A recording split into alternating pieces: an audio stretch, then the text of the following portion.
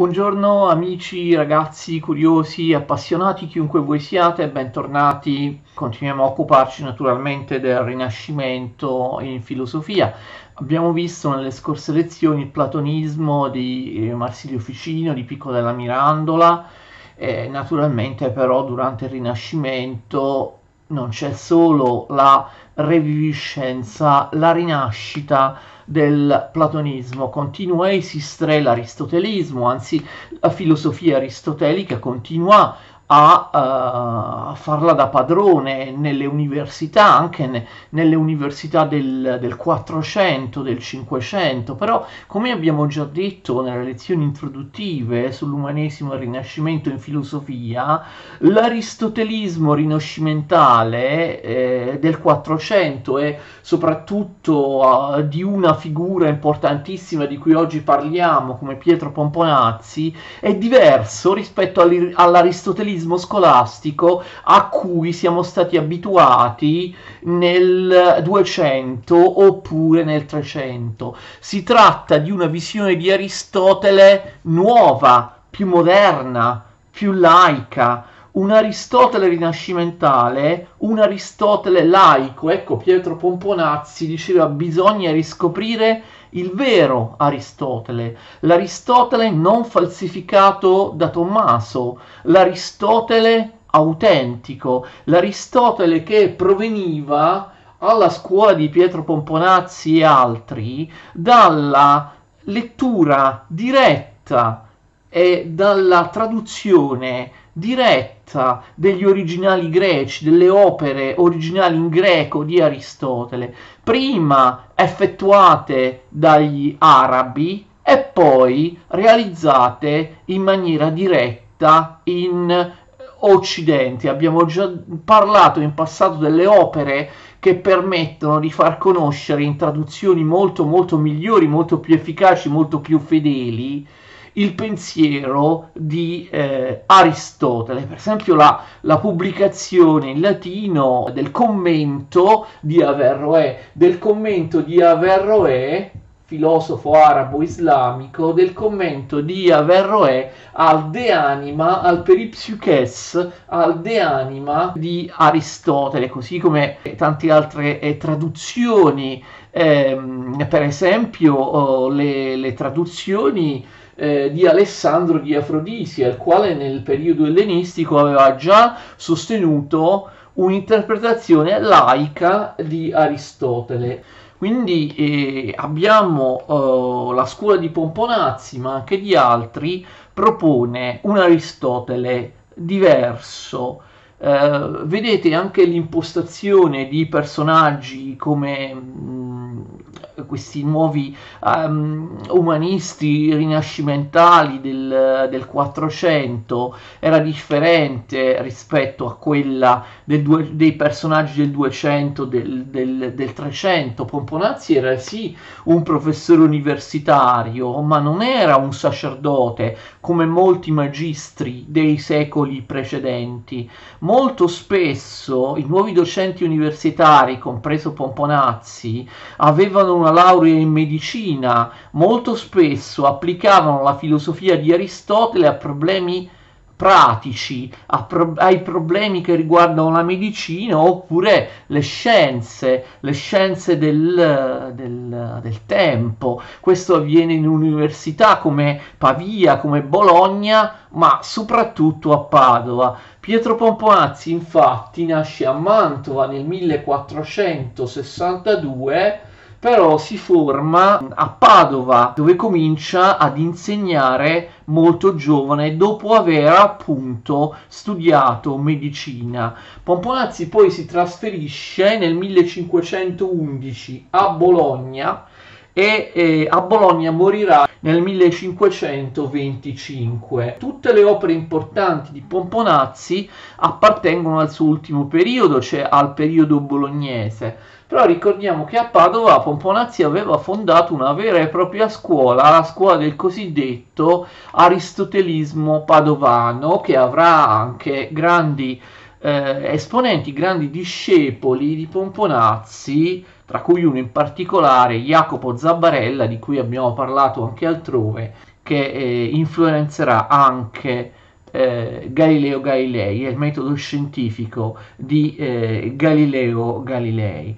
L'opera più importante, comunque la prima opera di Pomponazzi, eh, risale al 1516, attenzione, si chiama De Immortalitate Anime, sull'immortalità dell'anima, opera che eh, susciterà numerose controversie e avrà, e avrà molto successo. Qual è il problema fondamentale?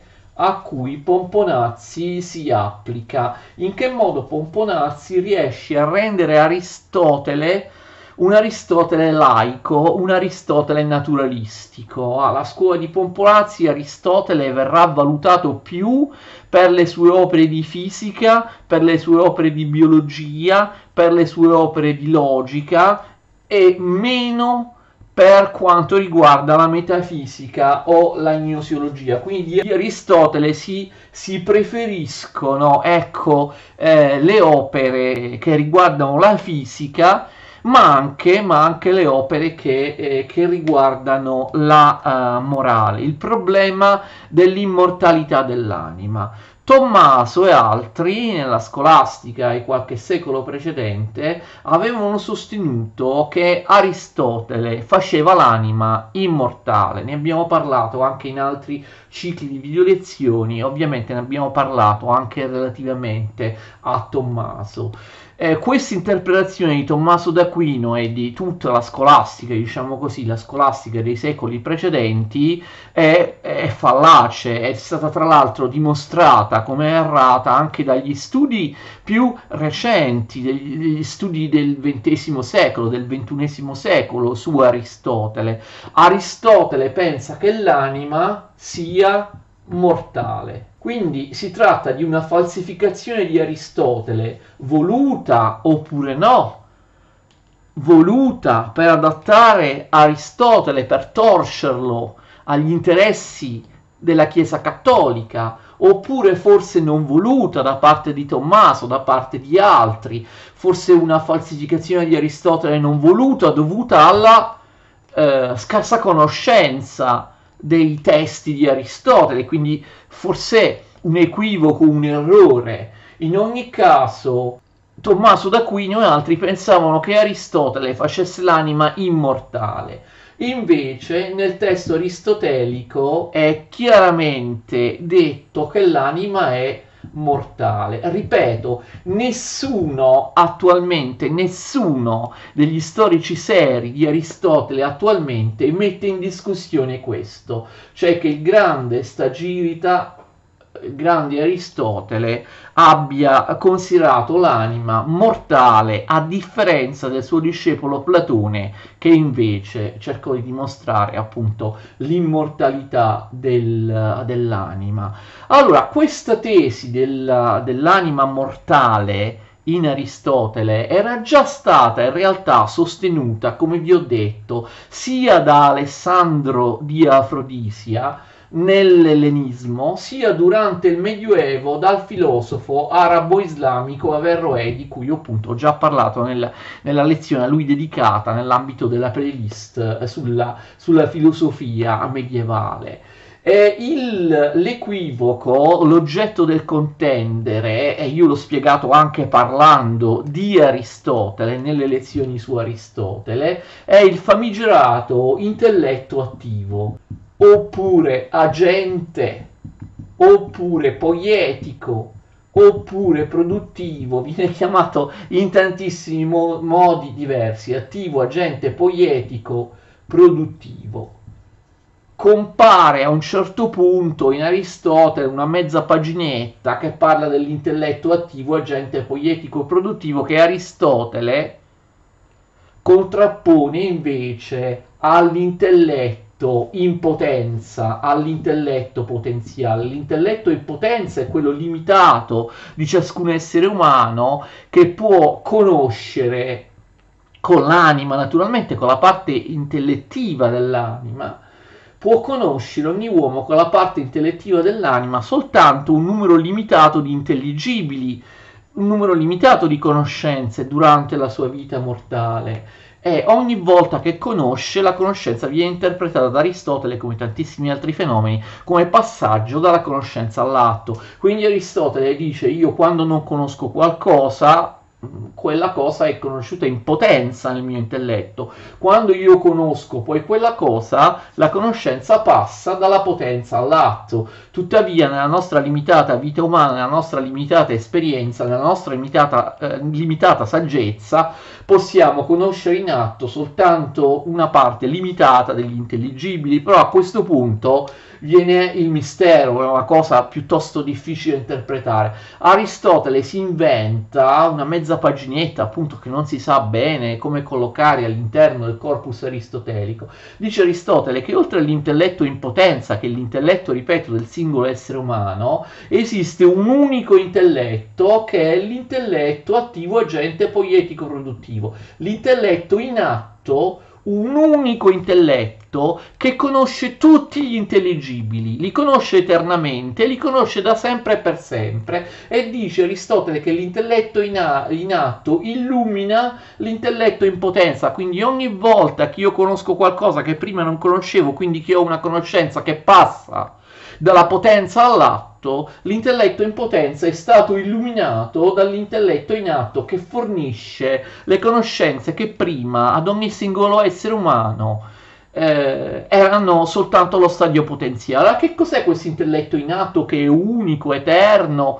Non si capisce. Molti interpreti lo identificano un intelletto divino e quindi qui nasce la falsificazione di Tommaso, capite? Si, si, falsifica Aristotele per fargli affermare scorrettamente l'immortalità dell'anima. Infatti Tommaso e altri dicono che eh, questo, eh, l'intelletto dell'uomo, per quanto limitato, eh, appunto la parte migliore dell'anima, la parte intellettiva, sarebbe comunque in contatto o farebbe parte, attenzione, dell'intelletto in atto tutto. E quindi quando l'essere umano muore si disfa il corpo, si disfano le altre due parti inferiori, quella nutritivo-vegetativa e quella sensitiva dell'anima, ma in realtà la parte intellettiva dell'anima, facendo parte dell'intelletto divino, dell'intelletto in atto, che sarebbe l'intelletto divino, eh, sopravviverebbe per l'eternità. E quindi in questo modo truffaldino rispetto a quello che scrive Aristotele viene fondata da Tommaso e da tanti altri nella scolastica medievale la dottrina fasulla dell'immortalità dell'anima in Aristotele, sfruttando appunto questa mezza paginetta per niente chiara nelle opere di Aristotele dell'intelletto in atto. Si dice, ripeto, che l'intelletto umano eh, farebbe parte dell'intelletto eh, in atto, considerato un intelletto eh, eterno, destinato a non morire, e quindi l'anima umana sarebbe immortale. Quest'idea era stata già smentita, ve l'ho detto, eh, dal, eh, nel tardo ellenismo da Alessandro di Afrodisia, poi nel eh, nel, nel, Medioevo dal filosofo arabo-islamico Averroè, che conoscevano Aristotele in greco, che eh, dominavano le vere fonti di Aristotele. Poi il greco non, in Occidente non si legge più e quindi è arrivato Tommaso d'Aquino che ha, insomma, arrampicandosi un po' con gli specchi, dando un'interpretazione, non solo lui, ma tanti altri della scolastica, dando una interpretazione di un certo tipo hanno fatto dire ad Aristotele scorrettamente che l'anima è immortale. Allora Pietro Pomponazzi si rifà ad Alessandro di Afrodisia, ad Averroè, sostenendo che eh, il vero testo di Aristotele eh, sostiene che eh, l'anima sia mortale, cioè la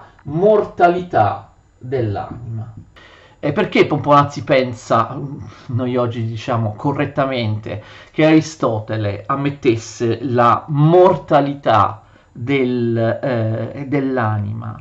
Aristotele, eh, secondo Pomponazzi, eh, non può in nessun modo, non potrebbe dimostrare neanche se volesse l'immortalità dell'anima, non l'ha dimostrata e d'altra parte dice che Pomponazzi, eh, Pomponazzi sostiene, attenzione, che la filosofia, la filosofia aristotelica, che per lui è la filosofia compiuta, ma qualunque tipo di filosofia, qualunque tipo di ragionamento, non potrebbe mai dimostrare l'immortalità dell'anima. Se noi consideriamo razionalmente, filosoficamente, con le sole armi della ragione, la questione della mortalità o dell'immortalità dell'anima, con le sole, eh, con le sole argomentazioni della ragione, cioè, eh, cioè dimostrando le cose da filosofi, dobbiamo ammettere che l'anima è mortale, non c'è nulla da fare. Aristotele stesso lo dice chiaramente quando dice che l'anima è la forma di un corpo che ha la vita in potenza. Quindi il eh, abbiamo visto anche nella lezione di Aristotele, l'individuo umano è un sinolo, ricordate, un sinolo, una sostanza composta da materia e forma. La forma è l'anima e la materia è un corpo che ha vita eh, in potenza e quindi il corpo, d'accordo, la forma è la materia. Ricordate che ogni sinolo, ogni sostanza aristotelica è composto da forma e materia. Nel, nell'individuo umano la materia ovviamente è il corpo, che è la potenza, mentre invece l'anima è la forma, che è l'atto atto che permette alla materia di avere una uh, vita, che dà la vita alla materia. Come tutti i sinoli aristotelici, lo sapete bene, materia e forma sono inestricabili, sono un tutt'uno, questo appunto vuol dire sinolo, un tutt'uno, non possono esistere l'una separatamente dall'altra. Quindi eh, vedete, eh, Aristotele chiaramente dice, così ribadisce Pomponazzi, che l'anima è la forma del corpo, che è la materia del sinolo. L'anima non è una sostanza, l'anima è solo la, una parte, una delle due caratteristiche che formano la sostanza e quindi una volta venuta meno la materia in una sostanza, come in tutte le sostanze aristoteliche, viene meno anche la forma quando la sostanza si distrugge. Quindi essendo la forma l'anima del corpo, l'anima muore insieme al corpo. Questo è quello che dice Aristotele secondo Pomponazzi e Pomponazzi aveva eh, ragione. Pomponazzi richiama anche, attenzione, la teoria, almeno in parte empiristica, della conoscenza, della gnosiologia di Aristotele. Da cosa deriva la conoscenza? Ovviamente Pomponazzi, esattamente come Aristotele, dice che la conoscenza superiore è la, la migliore conoscenza, è la conoscenza delle idee conoscenza univers- degli universali, però l'intelletto non potrebbe assolutamente arrivare alla conoscenza delle idee se queste idee non provenissero dalle immagini. Cioè non c'è conoscenza, dice Pomponazzi, come dice Aristotele, non c'è conoscenza senza immaginazione, d'accordo? Non c'è conoscenza senza immaginazione. Quindi le idee derivano dall'immaginazione, dai famosi fantasmai, dai fantasmi aristotelici, che a sua volta derivano dalle sensazioni, dalle percezioni degli organi di senso. Quindi cosa vuole dire Pomponazzi? Immaginiamo per assurdo che l'intelletto, se vogliamo identificarlo con l'anima, che l'intelletto esista senza il corpo, ok? Che l'anima esista senza il corpo per assurdo. Se immaginiamo l'anima separata dal corpo, l'intelletto separato dal corpo, l'intelletto, l'anima non potrebbero neppure funzionare. Non conoscerebbero niente se separati dal corpo, perché l'intelletto conosce e estrae le idee dalle immaginazioni, dai ricordi che appunto l'immaginazione ha delle percezioni degli organi di senso. Quindi anche volendo ipotizzare un animo, un intelletto separato dal corpo, quell'intelletto non avrebbe alcuna attività, non avrebbe alcun contenuto al suo interno, non produrrebbe nessun tipo di idee. L'intelletto, l'anima, può produrre le idee, può funzionare, può svolgere il suo compito il compito a cui è destinato dalla natura soltanto se l'intelletto, eh, la facoltà più alta dell'anima, si trova continuamente a contatto con i sensi, perché continuamente i sensi producono percezioni sensibili che diventano immaginazioni quando non sono più attuali ai cinque sensi e queste immaginazioni vengono poi passate continuamente all'intelletto.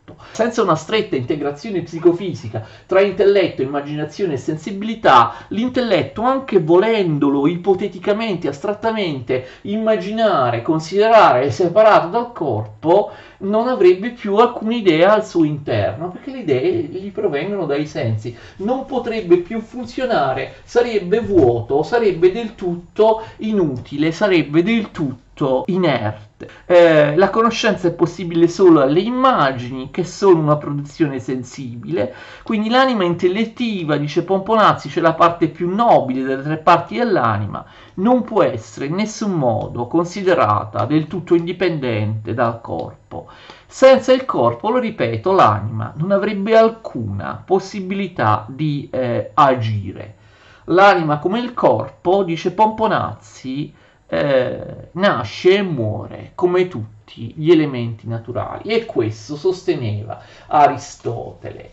E questa non è una teoria eretica, non è smentire insomma, la scolastica aristotelica che è, appunto eh, adattava, adattava Aristotele al cattolicesimo, eh, in particolare per l'immortalità dell'anima, ma non soltanto c'era un'altra grande questione, anche l'universo che secondo l'interpretazione scolastica de, de, di Aristotele, l'universo in Aristotele era, era, creato dal nulla, come dal Dio cristiano, ma anche in questo caso Aristotele dice un'altra cosa, cioè che l'universo è increato, che l'universo è eterno. E quindi se vogliamo essere proprio pignoli, non vi è soltanto la questione dell'immortalità dell'anima, che in realtà appunto è mortale, quindi diciamo la mortalità dell'anima che eh, impedisce la conciliazione tra Aristotele e cattolicesimo, ma anche la questione dell'universo increato, dell'universo eterno, che quindi è in contrasto anch'esso con la dottrina cattolica. Quindi vedete, non è solo l'immortalità dell'anima, ci sono altre questioni, in particolare quella della, della della negazione della creazione dell'universo da un Dio, ci sono altre questioni che rendono la filosofia di Aristotele incompatibile con eh, la dottrina cattolica, esattamente come Averroè, che era musulmano, aveva dovuto concludere che la filosofia di Aristotele fosse incompatibile con le verità rivelate del Corano, le verità rivelate dell'Islam. Da questo punto di vista Islam e eh, cristianesimo cattolico avevano la stessa eh, impostazione. E allora non è eretica questa teoria, come se la cava con Pomponazzi. Pomponazzi se la cava con la dottrina della doppia verità. Vi ricordate che ne abbiamo già parlato, ne abbiamo già parlato a proposito di Averroè. La teoria della doppia verità veniva chiamata anche averroismo ed era stata già praticata, infatti noi ne abbiamo già parlato, anche dall'averroismo latino medievale all'Università di Parigi, ricordate, Sigeri di Brabante e così via. E la doppia verità era un, modo, in qualche modo, per sfuggire alle alle, alle, persecuzioni. Dante, per esempio, è al contrario alla doppia verità, infatti mise all'inferno eh, Cavalcanti, che era un discepolo appunto di Sigeri di Brabante, che la praticava all'Università di Teologia di Parigi. Cosa diceva la doppia verità? Lo ricordiamo velocemente. La doppia verità distingueva una verità che può essere attinta dalla filosofia, dalla ragione, è una verità che deve essere accettata per fede, ovvero per rivelazione, sulla base di quello che ci testimoniano i profeti, i testi sacri direttamente ispirati da Dio. Quindi si può fare questa distinzione, ragionando con la sola ragione, con la filosofia, dice Pomponazzi, come dicevano altri in passato prima di lui, ragionando solo da filosofi, solo con la pura ragione, con la filosofia, con la ragione non assistita dalla rivelazione, noi dobbiamo arrivare, come vi ho detto, necessariamente alla conclusione che l'anima è mortale, muore col corpo. Però, però c'è un'altra verità, perché che l'anima sia mortale è incompatibile con la fede e quindi noi sappiamo che c'è un'altra verità, non quella di ragione, non quella filoso- della filosofia, che ci dice che l'anima è immortale, però se non ce lo dicesse la fede, la rivelazione, il testo sacro, noi non potremmo saperla, perché con mezzi puramente umani, razionali, filosofici, noi arriveremmo a concludere che l'anima è mortale. In realtà la doppia verità eh, implica che una di queste verità sia quella vera, anche Pomponazzi dice eh, la verità vera, la verità tra queste due verità, qual è quella effettivamente vera? È quella della rivelazione della fede, noi dobbiamo credere quindi che l'anima è immortale perché ce lo dicono le sacre scritture, è la Chiesa cattolica che interpreta le sacre scritture.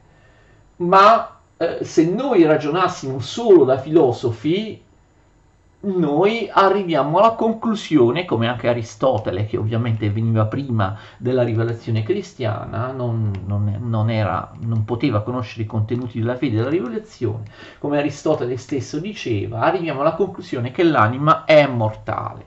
E quindi questa è la doppia verità. Aristotele e tutti noi, ragionando da filosofi, arriviamo alla conclusione che l'anima è mortale. Ma la verità vera è la, la seconda l'anima è immortale, ma solo perché mh, mm, mm, ce lo dice il, il, testo, il testo biblico. Eh, forse avete già notato, io ho già parlato della doppia verità in passato, ma lo sto ripetendo perché è molto importante nel caso di Pomponazzi, insomma avete già capito che questa può essere considerata, Dante la considerava infatti eh, proprio così, questa può essere considerata semplicemente una, una, una scusa, ecco, semplicemente uno strumento per nascondere le proprie idee, cioè io sostengo, sono un naturalista, un materialista, sostengo che l'anima muore col corpo, però per evitare persecuzioni, per evitare problemi, io dico che questa è solo la verità di ragione mascherandomi dietro al fatto che vabbè, c'è poi la verità di fede, la, la verità della rivelazione che mi, dice, che mi dice il contrario. Pomponazzi riprende dunque questa teoria della doppia verità che, ripeto, viene chiamata anche averroismo. Averroismo è il nome che viene dato in Occidente a questa teoria della doppia verità. Abbiamo già detto, parlando di Averroè, nelle lezioni sulla filosofia medievale, che eh, in Averroè in realtà non c'è niente di questo, si tratta di un falso. Averroè non ha mai elaborato la teoria della doppia verità. Averroè ha semplicemente detto che bisogna ammettere che quello che dice il Corano, cioè che l'anima sia immortale e altre cose, che per esempio che il mondo sia creato, non corrispondono a, alle verità a cui noi accediamo con la filosofia, con la semplice ragione. Quindi c'è questo contrasto, ma Averroè non ha mai sostenuto la liceità della doppia verità, quindi la doppia verità viene chiamata scorrettamente averroismo, quando in realtà nell'opera di Averroè la doppia verità non esiste. Ok? E quindi eh, questo è, diciamo, ecco, vedete, la laicizzazione di Aristotele da parte del grande Pietro Pomponazzi, l'interpretazione laica naturalistica di eh, Aristotele. E qual è la conseguenza di questo? se non esiste l'immortalità dell'anima e che e se noi eh, finiamo con la morte, che fine fa la virtù? Che senso avrebbe essere virtuosi, essere giusti, non peccare? Perché eh, cessa di esistere il premio soprannaturale alla virtù, oppure la pena soprannaturale che dobbiamo scontare nel caso non avessimo, avessimo peccato, nel caso non avessimo nella nostra vita praticato la uh, virtù.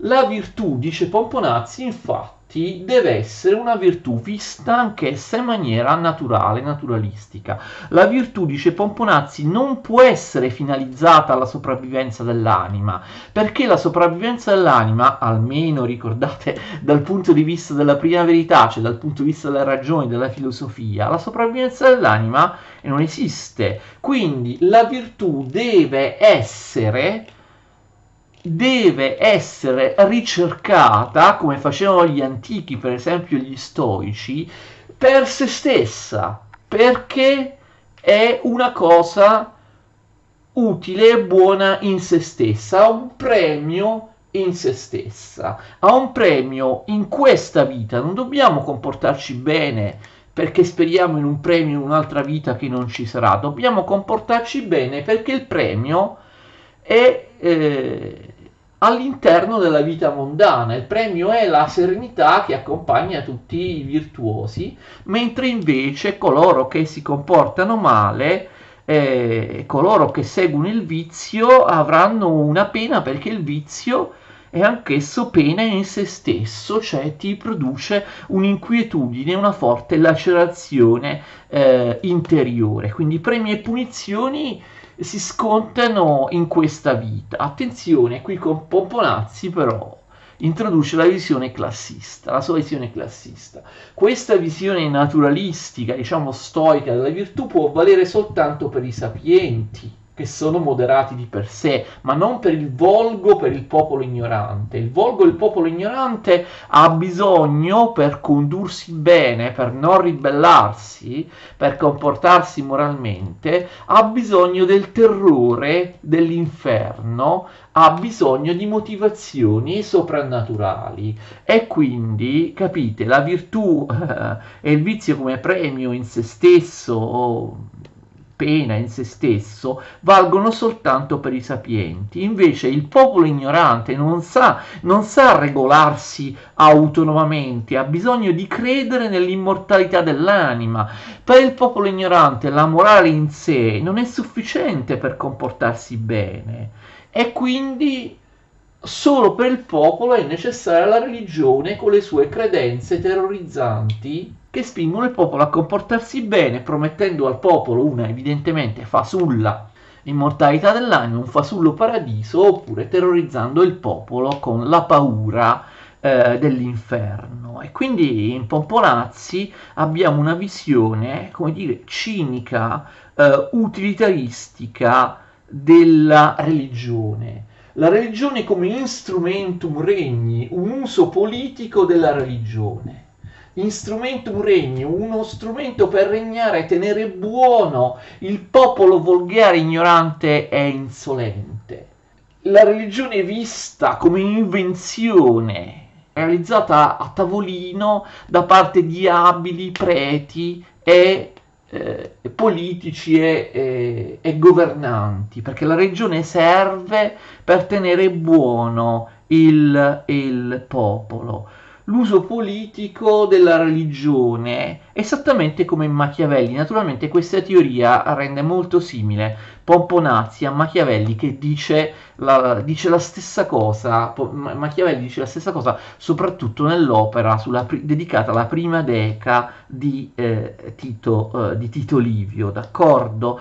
Quindi anche secondo Pomponazzi la, la teoria è la stessa di Machiavelli, secondo Pomponazzi i sacerdoti diffondono nel popolo volutamente credenze false, ma sono credenze necessarie, utili per tenere a bada il popolo occultano quelle verità filosofiche che sono dannose al popolo, che il popolo non potrebbe sostenere, di cui il popolo approfitterebbe e il risultato sarebbe l'impossibilità della convivenza civile, quindi le verità delle favole soprannaturali per il popolo sono necessarie perché funzionano come guida morale. Questo è un altro motivo per cui Pomponazzi è davvero un personaggio importante, ingiustamente sottovalutato rispetto a Machiavelli. Eh, Pomponazzi parla dell'invenzione politica della religione esattamente come Machiavelli, anzi ne parla in maniera più esplicita, in maniera ancora più chiara rispetto a Machiavelli. Questa teoria dell'uso politico, dell'invenzione politica della religione poi è inutile che ve lo dico, sanno tutti, sarà la base eh, dell'analoga teoria del secolo successivo da parte dei libertini francesi, come Naudet, Boulainvilliers, eh, Cyrano de Bergerac, eh, quel, quello vero, non il personaggio con il nasone della commedia di Rostand, il filosofo del Seicento, Cyrano de Bergerac, Boulainvilliers, ma soprattutto Gabriel Naudet, che studieremo nelle lezioni sui libertini francesi, Gabriel Naudet, il Machiavelli francese, l'autore dell'opera considerazioni politiche sui colpi di Stato in cui appunto dice che la religione deve essere inventata apposta eh, fatta credere al popolo per, per, insomma, in maniera classista affinché il popolo non venga tenuto buono, si ribelli. Quindi sia Machiavelli sia Pomponazzi, attenzione, sono pre- precursori cinquecenteschi del libertinismo seicentesco. Da questo, da questo punto di vista anticipano di un secolo questa teoria fondamentale dei libertini francesi del Seicento, cioè la religione come instrumentum regni, teoria che affonda le sue radici anche in, in Cicerone, ma soprattutto negli antichi sofisti. Ricordate per esempio Crizia, il famoso frammento di Crizia, che dice sostanzialmente è la stessa, la stessa cosa. Quindi, qual è la conclusione? Che Pomponazzi azzarda una fondazione puramente naturalistica della morale.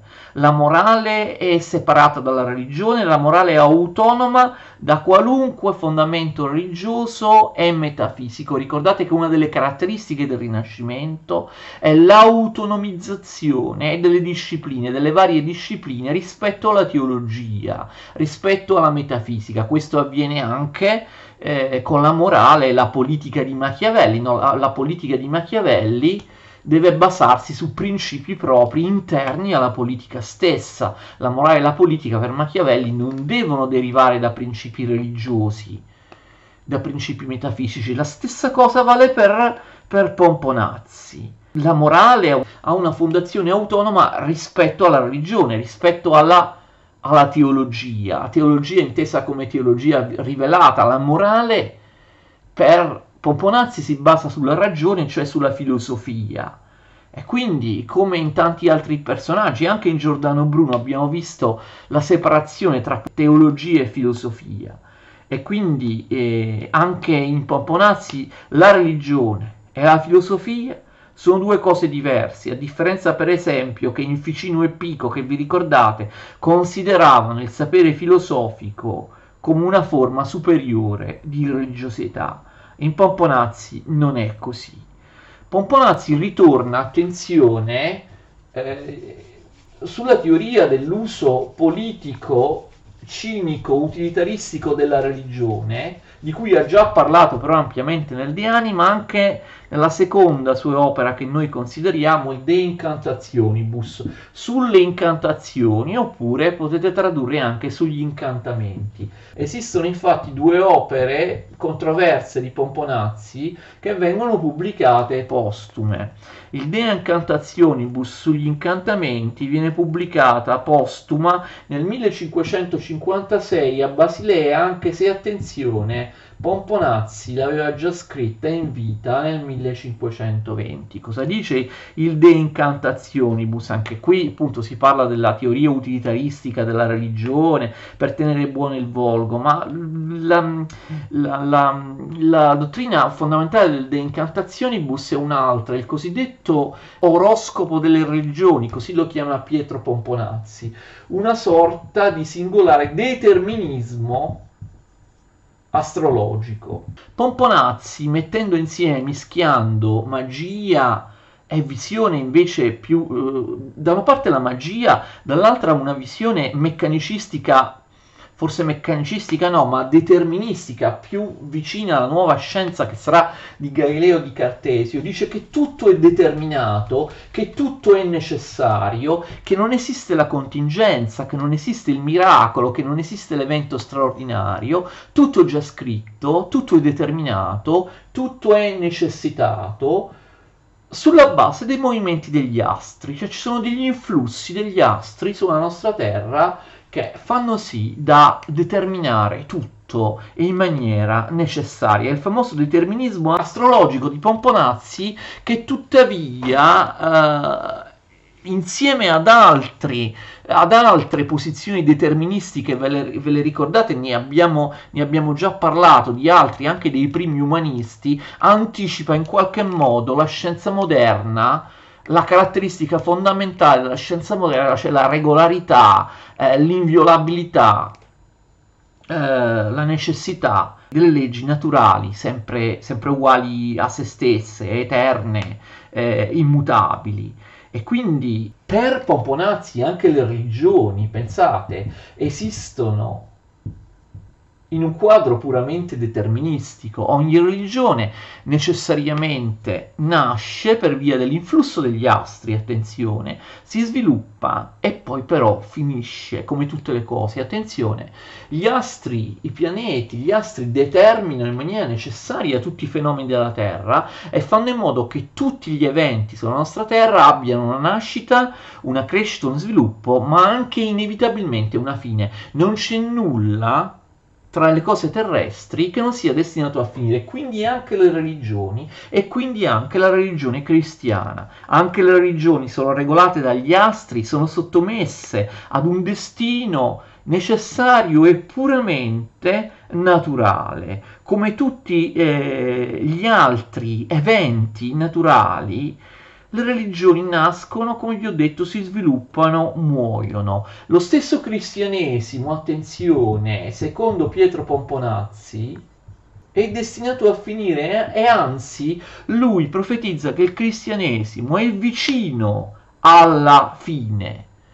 Ci sono tutti i segni dell'esaurimento, della prossima fine del cristianesimo. Ricordate che questo eh, sarà affermato anche da, da Giordano Bruno nell'opera Lo spaccio della bestia trionfante. Il cristianesimo è, de- destinato a finire perché come tutti i fenomeni umani visti come naturali, naturalistici, eh, sono destinati a, a, tramontare, anzi il tramonto del cristianesimo sembra imminente. Pomponazzi dice che i miracoli nel cristianesimo sono sempre più rari.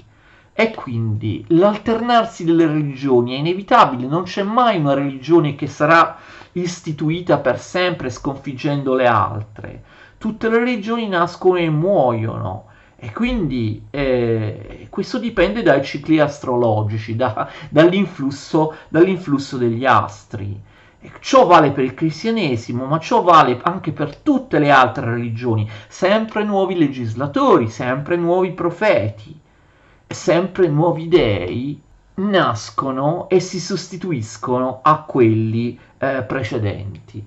Pomponazzi è davvero un determinista nel senso moderno del termine, come Galileo, come, come Cartesio per quanto riguarda la natura, ma questo determinismo si allarga anche all'uomo, si estende anche all'essere umano, quindi Pomponazzi negherebbe il libero arbitrio, farebbe anche dell'uomo un essere, un essere necessitato. È possibile una cosa del genere?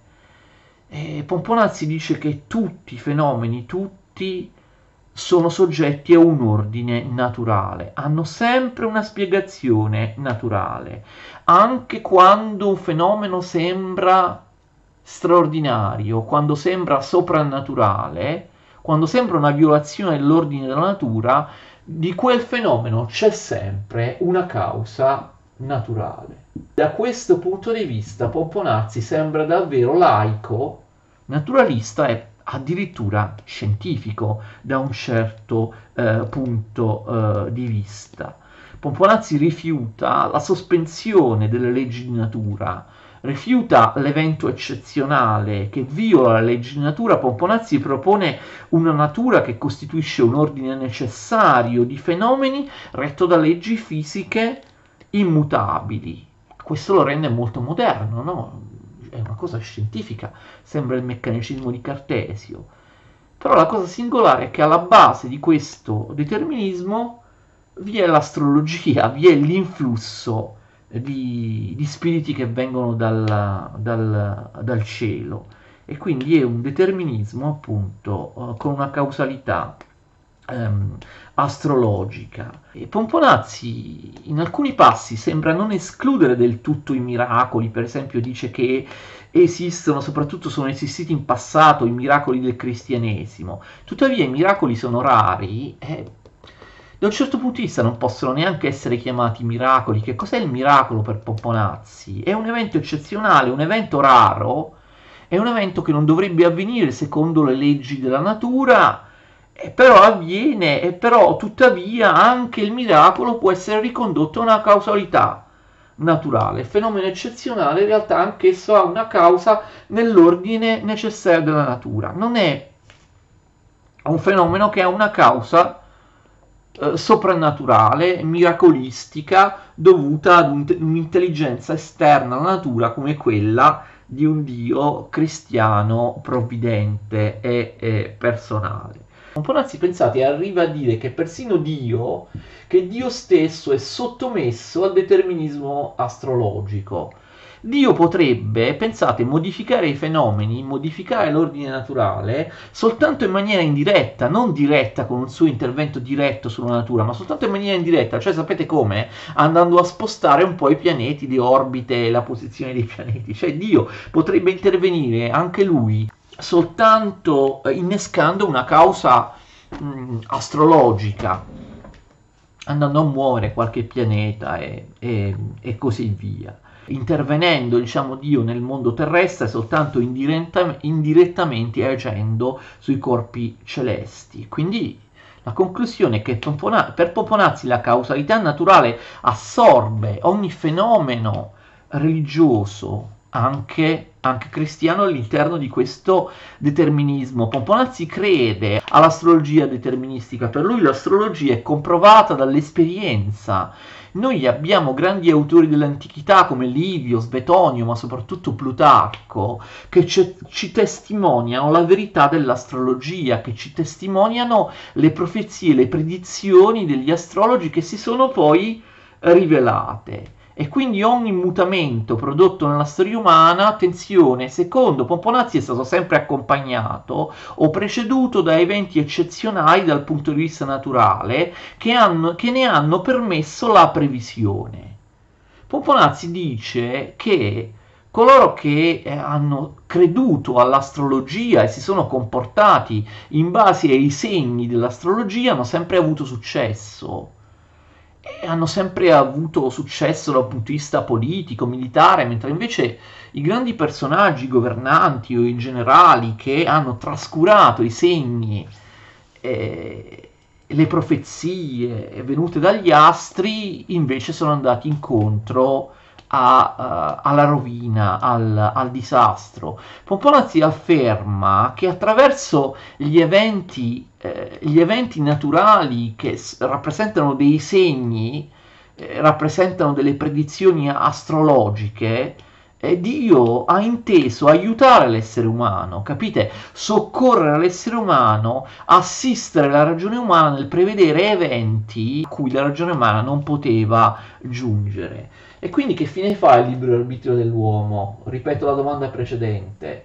L'essere umano, anch'esso, viene ridotto ad un'entità eh, deterministica, non è più libero, non esiste il libero arbitrio. Pomponazzi in maniera singolare nel De Incantationibus cerca di difendere il libero arbitrio dell'uomo, ma in realtà non, non, ci crede neanche lui, si scontra con la sua stessa dottrina del determinismo astrologico e deve ammettere che l'uomo è determinato dalla necessità dei cieli ma quindi questo vuol dire che non esiste libero arbitrio nell'uomo? Quindi che fine fa la, la responsabilità, il peccato? L'uomo non ha più responsabilità, non è libero, quindi non ha senso parlare di peccato. Se anche dovessimo dire che l'uomo peccasse, lo fa involontariamente, perché è determinato. Pomponazzi parla, riprende questa questione, il problema del determinismo applicato alla libertà umana, nell'ultima opera, nell'ultima sua opera di cui parliamo c'è il De Fato. Il De Fato, anch'essa un'opera pubblicata postuma a Basilea nel 1567, come il De Incantationibus, ma pubblicato, ecco, 11 anni dopo il De Cantationibus. Pomponazzi torna sul problema del determinismo, chiedendosi che fine fa il libero arbitrio dell'uomo. Pomponazzi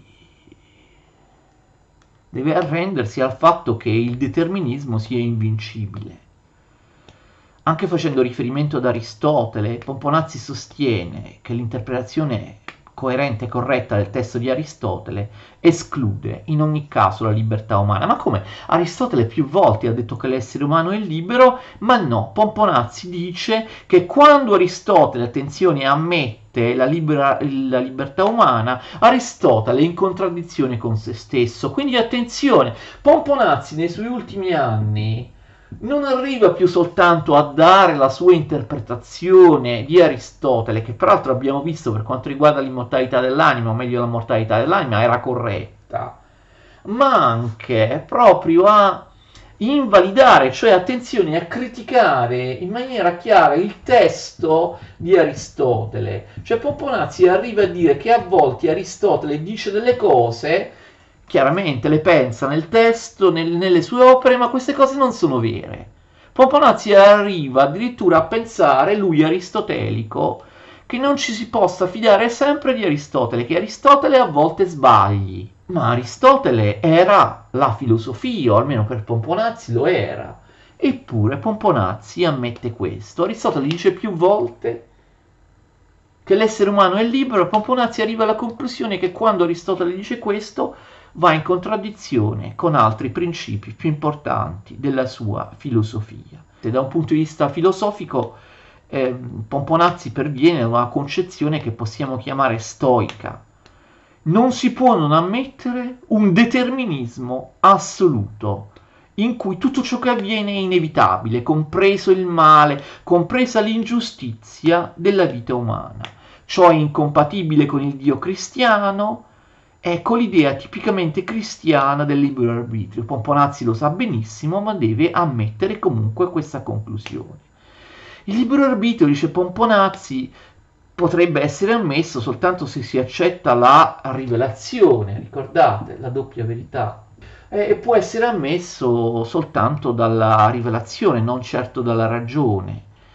Ma la rivelazione, insiste nel dire Pomponazzi, non può essere giustificata razionalmente e quindi se noi ragioniamo non da uomini di fede ma da filosofi, appunto come nello stile della doppia verità, il filosofo non può fare niente contro il determinismo. Qui Pomponazzi introduce la sua famosa immagine del filosofo come un nuovo Prometeo, il filosofo nella condizione di Prometeo che cerca di inventare qualcosa, che cerca di risolvere un problema ultimativo, ma non ci riesce. Prometeo incatenato a problemi che non può risolvere. Allo stesso modo il filosofo vorrebbe dimostrare il libero arbitrio e sconfiggere il determinismo, ma questo sulla base della ragione umana è assolutamente impossibile. Pomponazzi ci prova.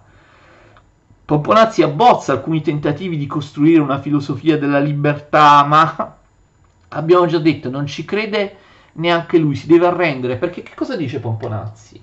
che una filosofia della libertà non può essere compatibile col testo di Aristotele, quindi il, il filosofo, il nuovo Prometeo frustrato, dovrebbe costruire una filosofia completamente nuova, sganciata da Aristotele, con basi completamente nuove che Pomponazzi non sa assolutamente trovare. Una filosofia della libertà sarebbe una filosofia non aristotelica Soltanto una filosofia completamente nuova, sganciata da Aristotele, potrebbe aggirare questo fatalismo stoico, ma alla fine Pomponazzi si arrende. Il determinismo assoluto è insuperabile e anche l'essere umano è del tutto privo del libero arbitrio.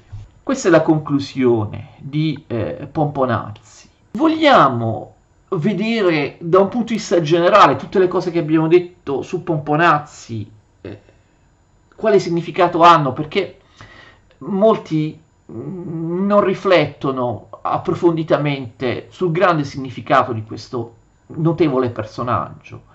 La riflessione di Pomponazzi in generale arriva a delle conclusioni che riducono le pretese dell'uomo. L'uomo può conoscere le cose, solo le cose che si possono cogliere con i sensi, e deve rinunciare a una conoscenza superiore, a una conoscenza simile a quella di Dio.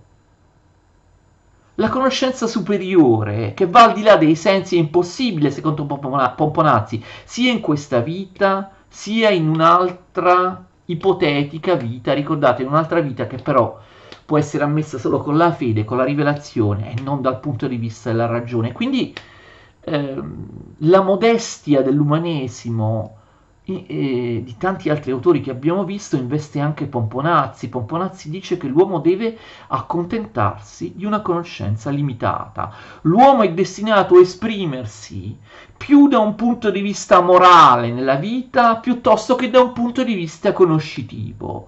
L'uomo ha una funzione da svolgere, qualcosa di, da dire in questa vita da un punto di vista pratico-morale, non da un punto di vista metafisico. L'uomo deve accettare i suoi limiti, l'uomo deve rinunciare alla pretesa di un sapere onnicomprensivo totalizzante e qui vengono in mente tanti umanisti come per esempio eh, Montaigne. Il raggiungimento della verità non può basarsi neppure più sull'interpretazione del testo aristotelico, perché lui, vedete, a volte eh, invalida il testo aristotelico, dice che non è sufficiente. Io potrei farvi degli altri esempi che non vi ho fatto prima. Per esempio, facciamo una parentesi finale, Pomponazzi dice che a volte non si può credere nel sillogismo. Ma come? Il sillogismo, costruito in maniera valida come Aristotele insegna, dovrebbe darci la verità. Pomponazzi dice che non è così perché quando c'è una dimostrazione empirica che un sillogismo aristotelico sia falso, non bisogna credere al sillogismo ma all'esperienza. E quindi vedete che anche il testo aristotelico non è più una guida per Pomponazzi. Pomponazzi fa un famoso esempio. Dice che secondo i sillogismi aristotelici in una certa zona dell'Africa non dovrebbero esistere i leoni, oppure non dovrebbero esistere popoli, non dovrebbero esistere gli esseri umani, ma dice io ho ricevuto una lettera dal mio amico che mi dice che in una certa zona dell'Africa, a differenza di quello che dice Aristotele, ci sono sia i leoni sia l'essere umano. Devo credere al sillogismo di Aristotele o all'esperienza del mio amico. Devo credere all'esperienza del mio amico. Quindi vedete che Pomponazzi a un certo punto abbandona anche la guida de- addirittura del testo aristotelico, quando il testo aristotelico gli sembra confliggere con l'esperienza, con la pratica. Concludiamo con Pomponazzi, l'influenza umanistica che abbiamo già visto in opera in tanti autori, eh, l'influenza umanistica che ci spinge a preferire un orientamento pratico agisce anche su Pomponazzi. La possibilità della conoscenza dell'uomo è limitata, l'uomo eh, deve orientarsi più alla morale, più alla pratica, più verso la scienza, più verso la comprensione della natura, piuttosto che verso la comprensione della metafisica oppure della comprensione di Dio. Io vi ringrazio se siete stati così pazienti fin qua, perché io ho concluso con Pomponazzi, temo di aver svolto una lezione diciamo, molto lunga, più lunga di, che, di quel che, che pensavo. Quindi eh, vi ringrazio, continuate a vedere le mie video lezioni e anche ovviamente le mie video lezioni dedicate a questi umanisti, a questi rinascimentali, non soltanto a quelli italiani, vedete personaggi che a volte vengono eh, ingiustamente sottovalutati e spesso sintetizzati oppure proprio espunti dai libri, dai libri scolastici e che invece io, eh, come potete riscontrare, sto cercando di trattare con un maggior approfondimento, con un dettaglio con un dettaglio maggiore di quello che eh, di solito viene, viene accordato allora, a, questi, a questi personaggi che sono pur sempre importanti della filosofia dell'umanesimo e del Rinascimento. Io vi ringrazio, vi saluto qui, ci vediamo alla prossima lezione, arrivederci.